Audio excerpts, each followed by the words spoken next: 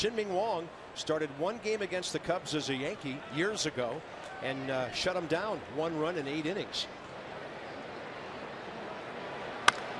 In the air. Out beyond second base and Rick Ankiel is under it and a really good bottom of the first for Chien-Ming Wang. Marlon Byrd short lead with one out. He is running. Soriano hits it to Desmond. Espinosa steps away and turns the 6-4-3. Castro has 44 with two or more hits and Reyes has 50. Ball comes up on Ian Desmond who had to stare right through the runner and he makes a good play. Byrd puts a charge into that one but he got it off the end of the bat and Ankiel's there and Chien-Ming Wang continues to impress. That's at the knees, and the Cubs are gone in the fifth inning. There is something special going on in Chicago tonight.